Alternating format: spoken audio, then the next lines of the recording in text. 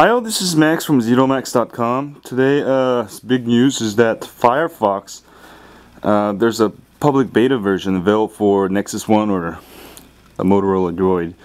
So I got the Phoenix, it's called the Fennec uh, Firefox. So I got it installed.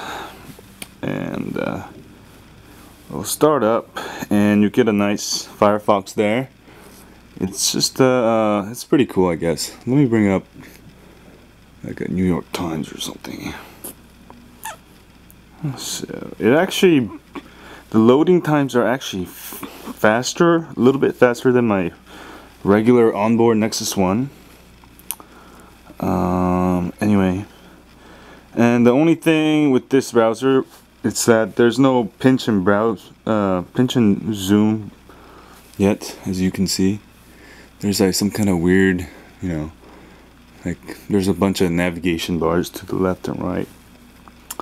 Um, other than that it's a pretty cool browser. I mean I'm sure they'll make it better and eventually we'll have you know two browsers to work with on Android. And uh, I know you know if I, I'm not sure right now but if this Firefox supports plugins also that means you know you can use existing uh, plugins made for Firefox use on your mobile phone, which is cool.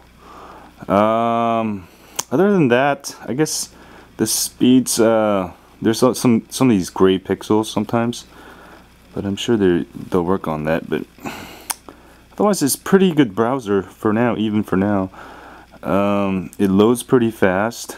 Um, I guess that's about it. So we'll see when uh, this browser get you know is officially released. By then it should be pretty good. Anyway, thanks for watching. That's, you know, Zedomax.com. Uh, see y'all later.